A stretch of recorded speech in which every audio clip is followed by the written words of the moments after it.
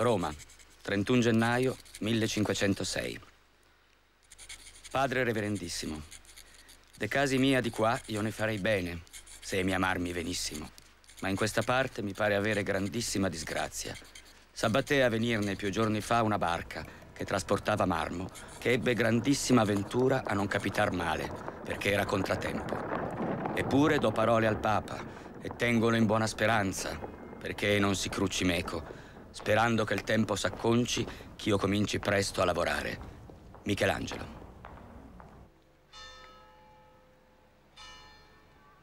Firenze, 2 maggio 1506. Giuliano, e intenda la sua santità come io sono disposto, più che io fussi mai, a seguire l'opera.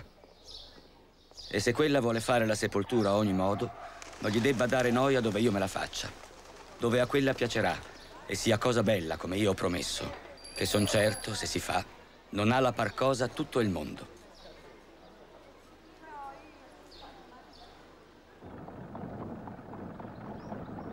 Per servire Sua Santità sendio a Carrara, per mia faccende, cioè per marmi per condurre a Roma per la sepoltura di Papa Giulio.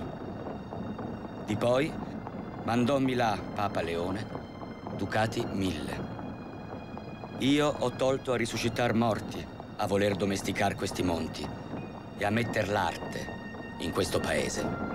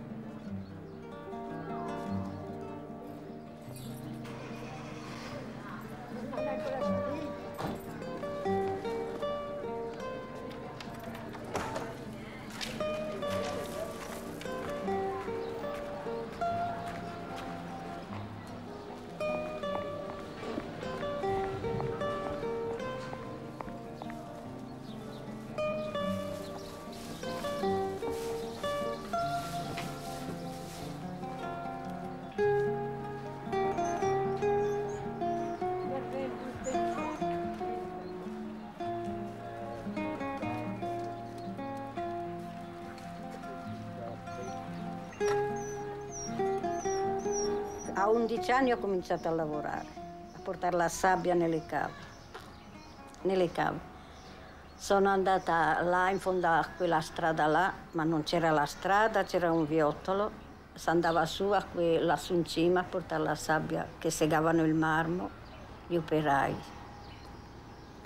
E di qua vedevo portare giù il marmo, la, la lizzatura. Ho visto morire due uomini là schiacciati contro il muro è andata a volta la, la carica, noi si diceva la carica, la lizzatura. E poi ho continuato, sono andata in fondo alla strada laggiù, andavo su alla Montecatini lo stesso a portare la sabbia. Poi facevo due volte al giorno, due volte al giorno di, da, da Colonnata andavo a Carrara a prendere la spesa per i negozi di Colonnata. Due volte al giorno ci andavo a piedi. La nostra giornata era dura perché si portava i sacchetti di sabbia, erano 30 kg ogni, ogni viaggio che si faceva. Allora, di lassù a qua giù, tutto il giorno su e giù per quella strada. Non c'era la strada, era quel viottolo di montagna tutto il giorno si portava. Portavano una camionata di sabbia alla ferrovia e noi tutto il giorno su e giù a portare quella sabbia. Tocca donna che è sua. E io ho avuto la sabbia a rigaurita.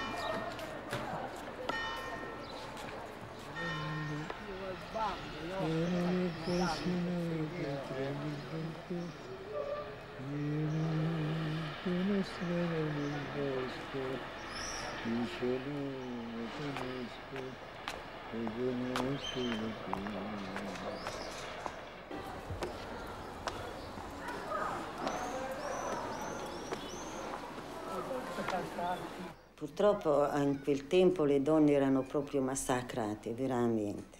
Prima cosa gli uomini erano molto diversi da noi, da oggi, perché erano più all'antica, diciamo, non erano come oggi che hanno un pochino più rispetto. A quel tempo lavoravano e quando era il momento giusto arrivavano anche di questi nella testa. Era una cosa molto, molto diversa da oggi.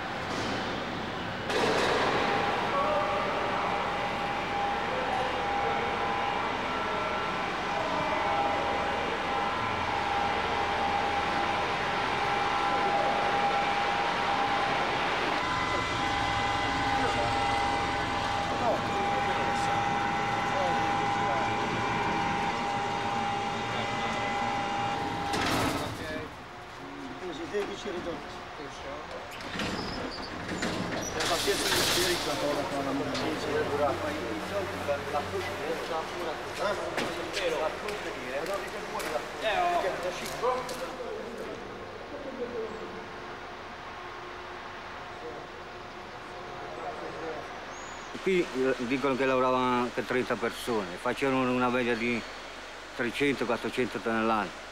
Adesso ultimamente siamo in 8, facciamo una media di 7-800 tonnellate, quindi con, da 30 operai a 8, quindi la produzione è aumentata molto. Solo il, il problema è che noi, lo stipendio è sempre quello. È poco. La mia passione del cavatore è venuta perché sentivo i vecchi al mio paese, quando erano seduti lì, che stavano prendendo il sole o andavano a, al fresco, all'ombra. E sentivo parlare di queste cave, sentivo che eh, dicevano tirato fuori il blocco, eh, un blocco immenso, insomma, qualcosa si tira fuori per portare a casa la pagnotta, vuol dire il peso dal pane. E allora di lì ho detto, ma proverò anch'io, guarderò un po' se divento anch'io come loro, alla, alla capacità di, di fare questo mestiere.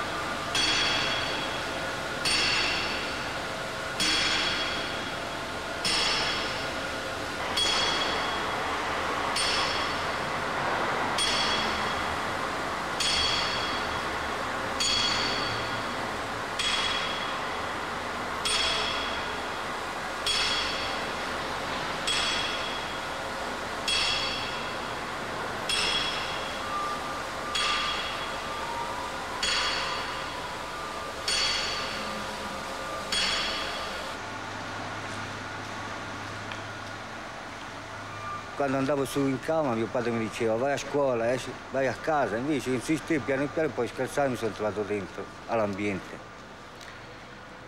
E francamente adesso sono un po' stanco. Vorrei un po' andarmene in pensione o addirittura cambiare mestiere, se ci fosse la possibilità. E come adesso sì, mi sembra che sta cambiando molto le cose, invece di andare avanti torniamo un po' indietro tutte queste cose qui che abbiamo ottenuto facendo tanti scioperi ci stiamo rimangiando. Gli stipendi sono una miseria, facendo otto ore arriviamo a 1 milione e otto al mese. Siamo costretti a far lavorare anche il sabato, facendo qualche ora di straordinario e noi andiamo avanti. Per me è un lavoro faticoso, molto. Io credo che quando una persona ha lavorato 20 anni in una cava, a 25 sarebbe ora che se ne andasse in pensione perché chi, chi, va a 35 anni, chi poi ci fa mal di schiena, chi una gamba, chi ha tre anni vogliono tutti, chissà perché. Io credo che a 20 anni, 25 anni basta, una persona deve andarsene in pensione, che, che 20 anni che uno eh, almeno si ricorda. Vai in pensione a 35 anni, vai a 65 anni dove vai? Due anni poi muoio. E ho fatto il pugile, avevo circa 14 anni, fino a 17 anni ho frequentato sta palestra.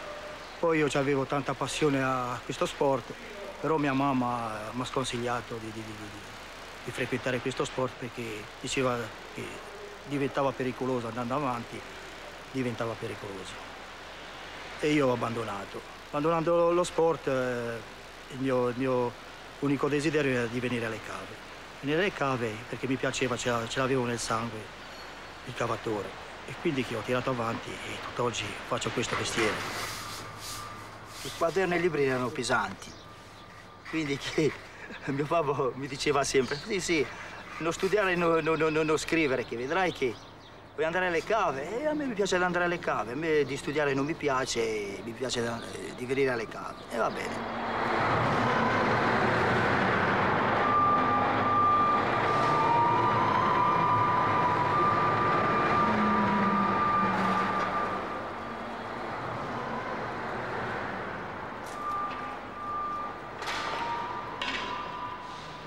Allora, questo cavo diamantato, questo, questo, filo qua, ha una forza di strappo di 60 tonnellate ogni, ogni, ogni metro, ogni filo che c'è dentro.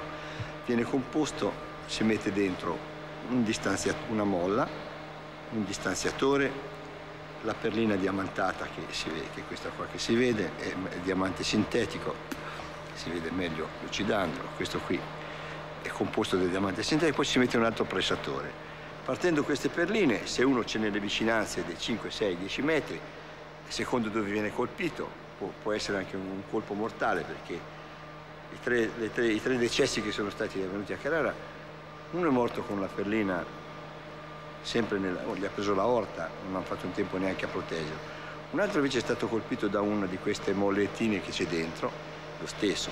Poi eh, se, se uno è lontano può farsi male a una mano, un braccio, sono come, quando partono sono, sono come colpi di, di, di fucile, di, di arma da fuoco. Era molto, ma molto pericoloso veramente, perché io ho abitato 25 anni giù alla fontana per andare su alle cave. Allora tenevamo in fondo al corridoio, come ora lì in fondo, una bottiglia di cognac e, e alcol per medicare la gente. C'erano i lizzatori a quel tempo a volte scappava la fune, posso muovermi? E questa fune raccoglieva tutti gli uomini. Signora, mille volte, mille volte come una io ho dovuto levarmi la camicetta e asciugare il sangue alla testa e medicare questi uomini. Venivano giù, li portavano giù con, noi ci dicevamo la barella a quel tempo, la lettiga a Barel. E insomma era una cosa molto brutta, brutta perché in un giorno ce ne sono rimasti anche tre su i lizzatori. Alle cave poi non se ne parla. Pietra Santa, 2 aprile 1518. Buon arroto. Se io ho chiesto al Papa e al Cardinale che mi diano autorità sopra questa strada, l'ho fatto solo per poter comandare e farla dirizzare in quei luoghi dove sono i marmi migliori, che non gli conosce ognuno. La strada si può dire che sia finita, perché resta a fare poco. Cioè, resta a tagliare certi sassi. L'una è dove sbocca la strada che esce dal fiume, nella strada vecchia a Rio Magno. Però questo è che sabato mattina vi ho messi a fare collare una colonna con grande ordine. Si ruppe uno anello dell'ulivella che era alla colonna e la colonna se ne andò nel fiume, in cento pezzi. De Marmi, ho la colonna cavata giù nel canale e presso alla strada, a 50 braccia, a salvamento. E ci si fatto male qualcuno nel collarla e uno ci si è dinoccolato, è morto subito e io ci sono stato per mettere la vita. Quando si facevano male alle cave, suonavano le sirene. Se c'era l'infortunio non grave, suonava due volte. E quando c'era l'infortunio molto grave, tre volte. Ma faceva di quei fischi che... Uh, ma forte, forte, che allora camminava anche chi non doveva. Gliel'ho detto, il mio bimbo era, avrà avuto cinque anni, sei, ne... no, non Camminava, aveva sempre un martello in mano perché mio marito faceva il fabbro, suo nonno il fabbro, e il bimbo andava sempre col babbo a, fare, a giocare con quelle cose lì. Con quel martello andava giù per quella strada, sembrava una trottola, a vedere dove erano questi infortuni, perché...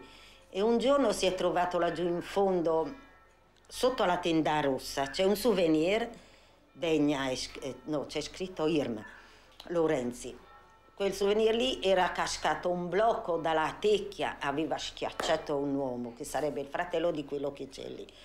E mio figlio è arrivato lì il primo, quando è venuto a casa tremava e dice, ho visto, oh, no, parla come diceva lui, oh ma ho visto tutto quell'uomo, sembrava una rana, schiacciato così.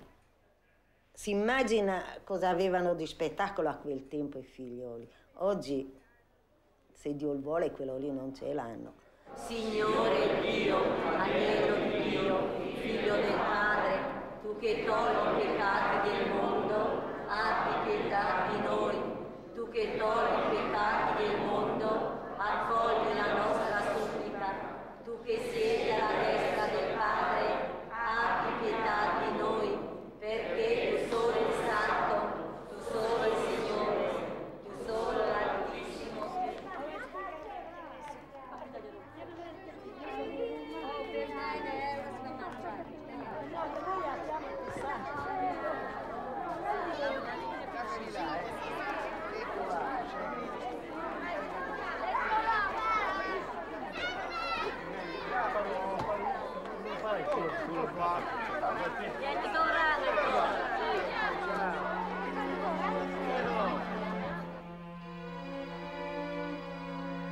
Agosto 1518. Pietro. L'altra grotta è poco passato Rio Magno, per andare a Serravezza, un sasso grande che attraversa la strada. L'altra è l'ultime case di Serravezza, andando verso la Corvara.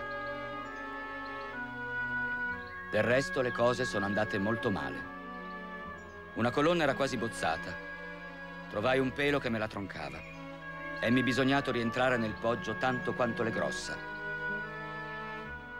Basta che quello che io ho promesso lo farò a ogni modo e farò la più bella opera che si sia mai fatta in Italia, se Dio me ne aiuta.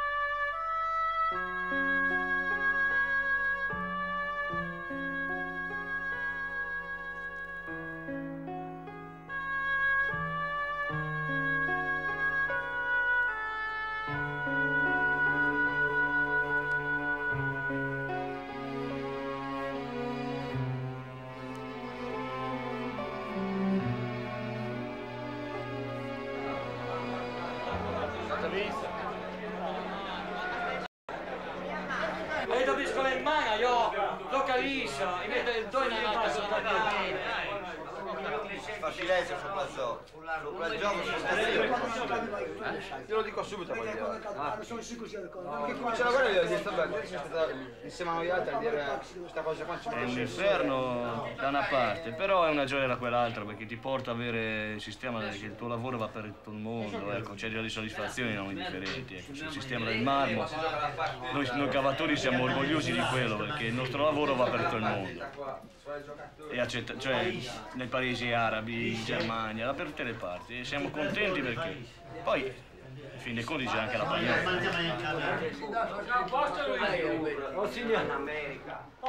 Da Santa Lucia che panorama, tutta quanta vedi la città, sembra il volto bello della mamma e ragazze singoli e beltà.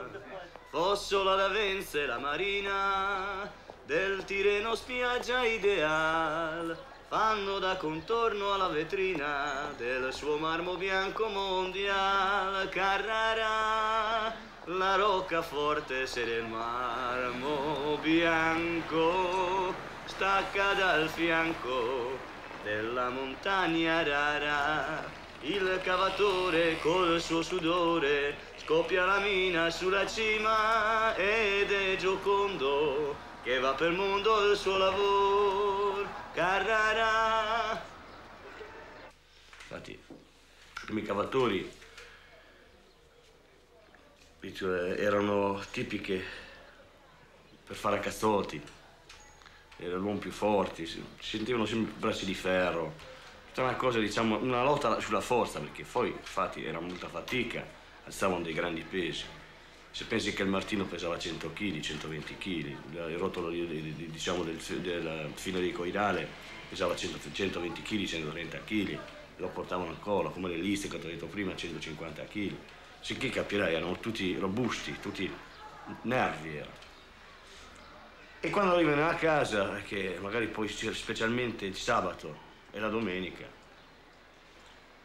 esisteva andare nelle cantine, che il padrone dava la quindicina o la settimana in cantina, no? Si trovano in una cantina.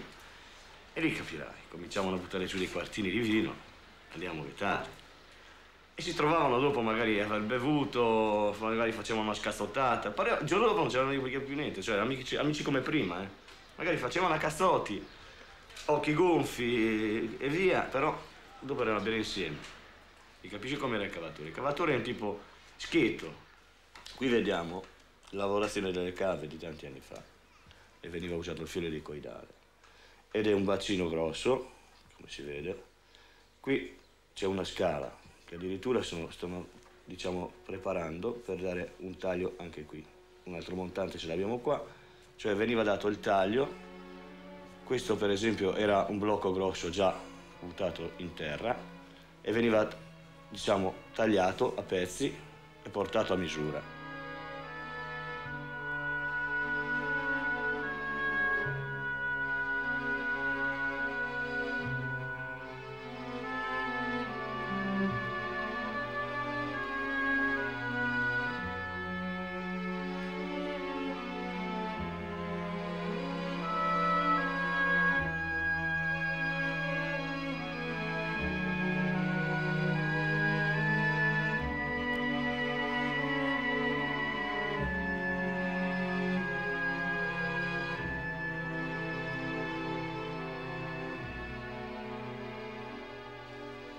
Passiamo a questa. Questa qua è, è il momento in cui hanno fatto la mina per poter prendere da questa parte, andare dentro con il macchinario, col filo elicoidale, infatti stanno passando il filo elicoidale, che si vede l'uomo che tira, e questi due cogli erano a farle passare.